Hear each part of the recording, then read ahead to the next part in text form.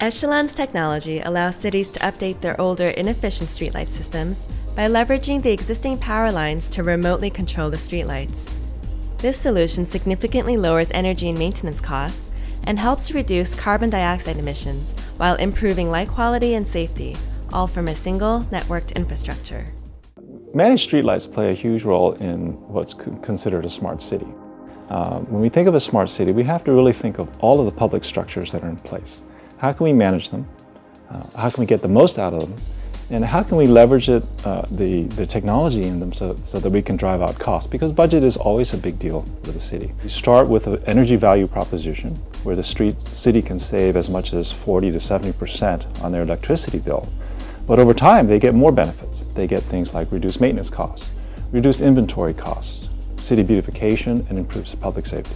We have at this moment about uh, 10,000 luminaires working in this system every city use between 20 to 40 percent of their budget for street lighting.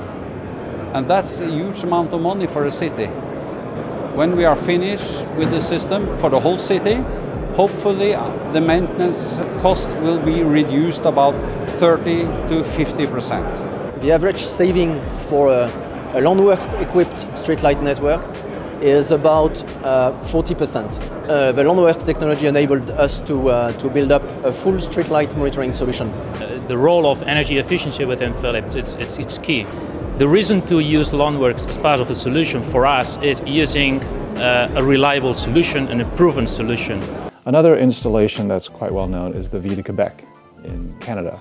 And they did that primarily for beautification, but they're also experiencing the added benefits of having a networked system.